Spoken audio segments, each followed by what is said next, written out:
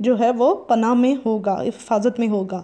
حضرت ابو سفیان رضی اللہ تعالیٰ عنہ تیزی سے مکہ مکرمہ پہنچے اور حضور صلی اللہ علیہ وآلہ وسلم کی طرف سے امان کا پیغام لوگوں کو لوگوں کو دیا۔ یعنی کہ لوگوں کو امن کا پیغام جو تھا لوگوں تک پہنچایا، قریش قریش تک۔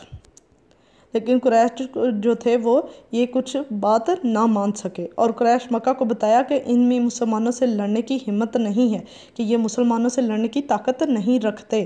حضور صلی اللہ علیہ وآلہ وسلم مکہ مکرمہ میں داخل ہوئے۔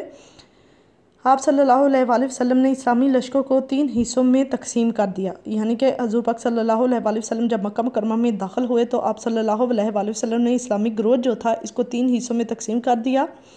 حضرت خالد بن ولید کے لشکر سے لڑنے کے لیے قریش کے کچھ نوجوان آئے، جو معمولی سی جھڑپ یعنی کہ جو معمولی سی جنگ ان کے درمیان ہوئی، میں قریباً تیرہ لاشیں چھوڑ کر بھاگ گئے۔